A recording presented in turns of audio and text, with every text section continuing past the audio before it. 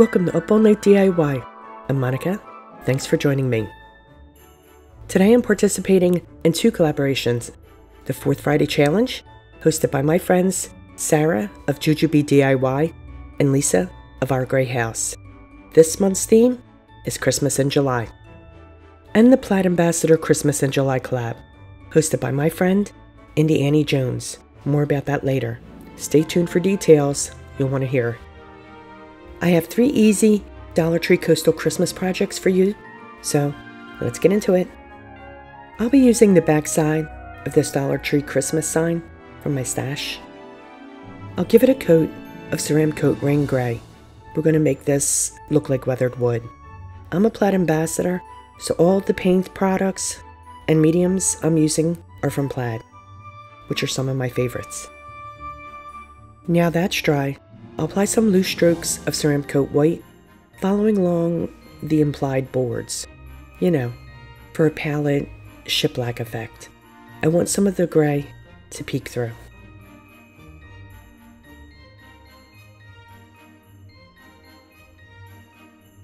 With Ceramcoat Hippo Gray, I'll use the edge of my brush to stroke in a line to separate the boards. As you can see, I'm not worrying about being very tidy. It's meant to look weathered, and a lot of it will get covered anyway, so not worrying about it. I dry brush each board with Ceramcoat Sand Dune. It's a lovely grayish color to add a bit more aging. And I'll set that aside for the mo. I drew and cut out a seahorse on cardstock, which I'll trace onto my scrapbook paper. This is how I always did it prior to owning my silhouette, so I wanted to show you that can easily be done with just a pair of scissors.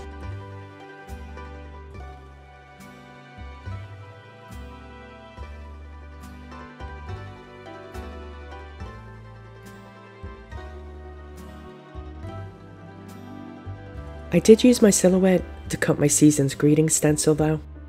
You can always use a pre-cut stencil or stamps, stickers, whatever you have.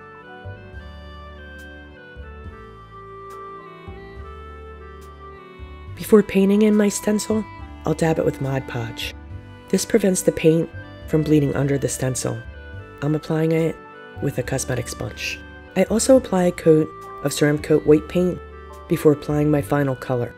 This is so my final coat is true to its color and hue. My top coat will be velvet teal. This is also Ceramcoat.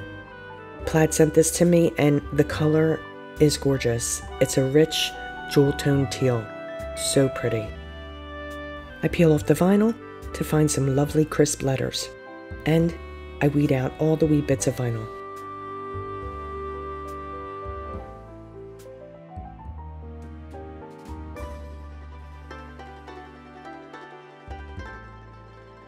I deposit a healthy coat of Mod Podge to the back of the seahorse, and I'll place her alongside my lettering. I apologize for my voice, I have a wee bit of a summer cold.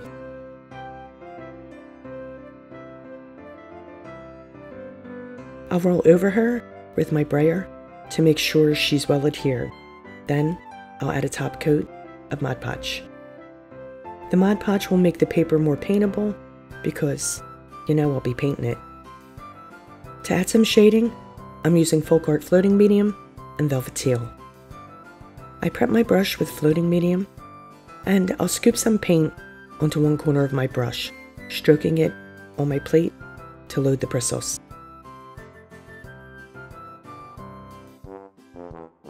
With the paint side of my brush to the edge of the seahorse, I'll shade right around the shape, reloading as needed.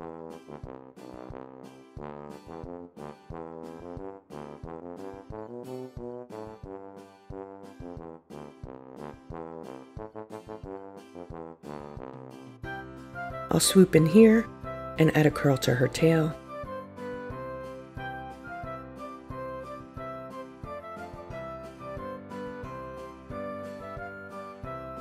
And I'll add a couple more curls, one here by her cheek and by her fin, just to make her a bit more fancy. A few stripes on her back fin, and another curl here too. why not? I repeat my shading, but on the outside of the seahorse, with the paint side of the brush to the edge of the seahorse shape.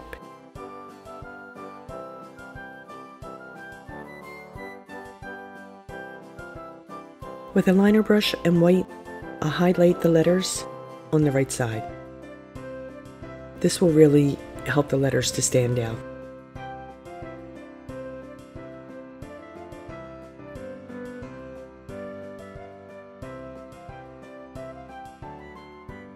I use a dot of Sobo glue to these holly leaves that I'll cut from scrapbook paper to add a touch of Christmas to her fin. And down here by the lettering. I'll give them a top coat of Mod Podge.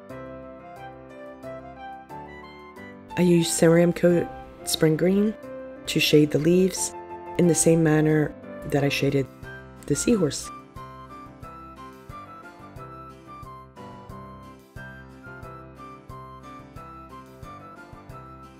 I dipped out on the berries, two in sun-kissed coral, and one in watermelon. I'll stroke on white highlights to the leaves and dip out the berries. And I'll seal it with a clear matte spray.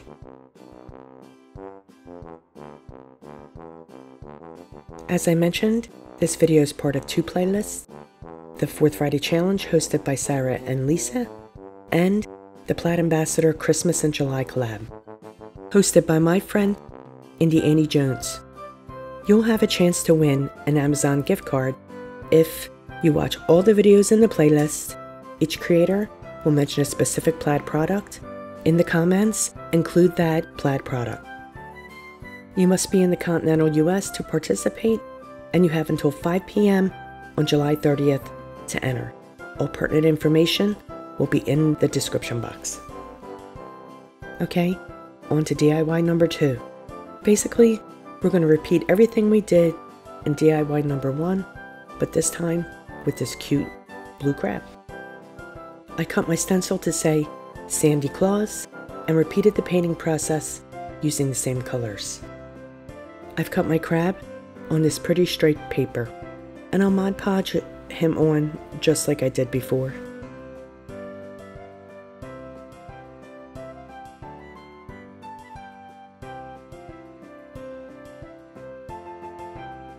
Before I put his claws in place, I'll add his Santa hat. I actually cut this from white cardstock and painted it because I didn't have any red paper.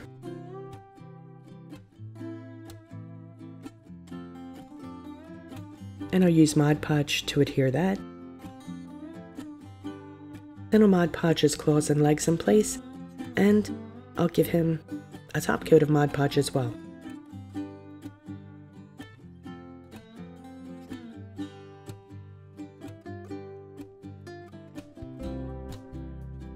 Just like before, I highlight the letters with white.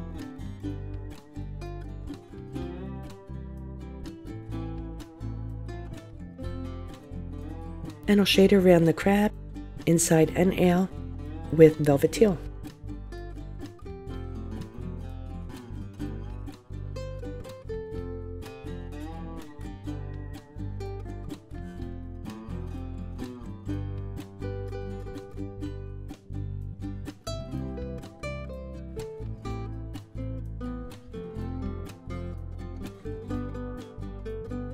With parsley and spring green, I paint in some holly leaves.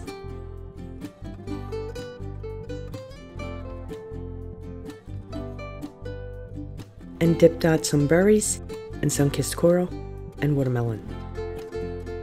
Once again, I'll Mod Podge some holly by the lettering. I'll shade it and highlight it and berries. As always, I'll spray seal.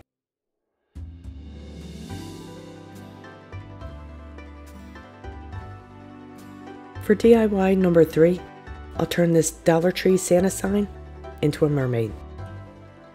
I'll just flip him over and upside down. I'm going to paint from here up white, just the part that will be her face. So as a guide, I traced her shape onto some paper and I'm kind of came up with a sketch of what she should look like.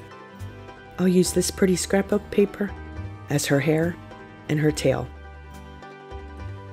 I trace the shape of her hair onto this orange paper and I'll use some scissors to cut it out, just making sure that it fits. I trace on her tail and I'll cut that out too.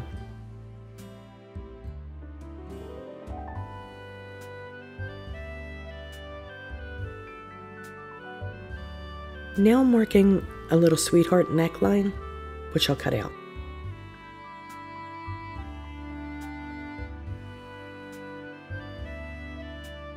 So she needs arms, so I drew some on white cardstock and I printed out a scallop shell that says mermaid kisses and Christmas wishes for her to hold.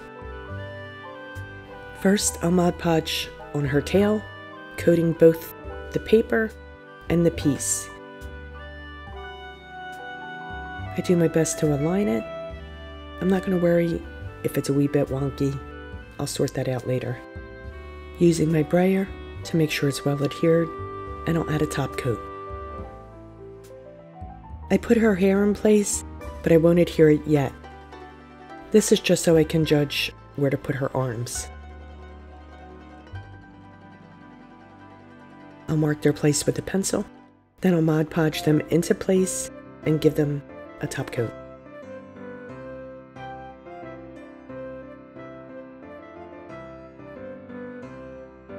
I add her hair.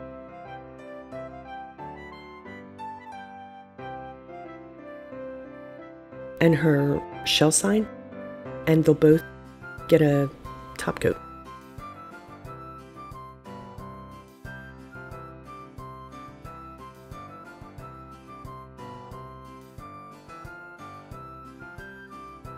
I cut her a tail fin, and I'll use my Sobo glue to stick them together. Now I'll give them a top coat of Mod Podge before adhering them to the mermaid. It's easier this way since there's no support beneath them. They'll kind of be hanging out there on their own. I printed and cut nautilus shells to decorate her hair. Same drill. Once in place, I'll top coat with Mod Podge. I've cut some larger holly leaves to decorate her tail. I'll glue them together with Sobo and then Mod Podge them into place.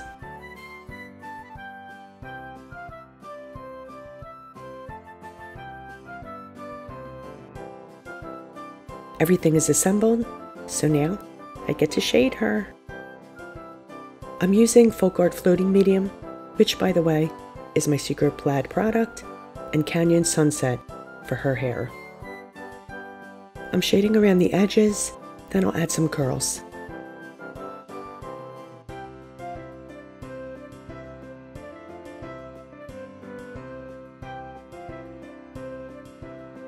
I'll shade with sand dune to define her face, neck, and arms, and I'll shade the shells with sand dune as well.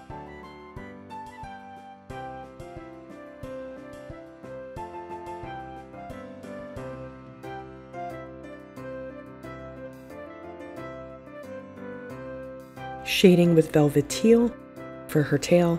Anywhere where I can see her scales will be shaded with velvet teal.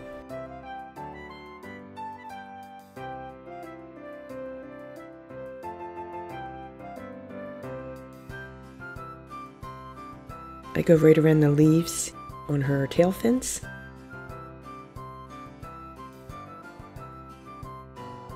I also add just a hint around her shell crown just to pull that color in up there. Spring green around the leaves. And I'll dip that on the berries. As before, two sun-kissed coral and one watermelon. And I add holly around her crown. I felt like she needed more Christmas up there. I drill a hole at the top. And I'll make a hanger by wrapping craft wire around a paint bottle.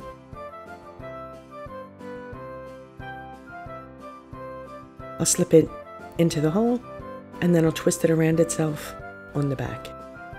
she'll get sealed like the others with clear matte sealer. Here's a final look. If you're interested, grab printables for the seahorse and crab signs. Link is in the description box, along with the links to Sarah, Lisa, and Annie's channels, the two playlists, list of supplies, and the rules to the giftaway. Please like, share, comment, and subscribe, and all that good stuff. Be sure to check out both playlists. Best of luck, all. Stay creative, my friends. Thanks for hanging with me. See you next time. Up all night with Monica.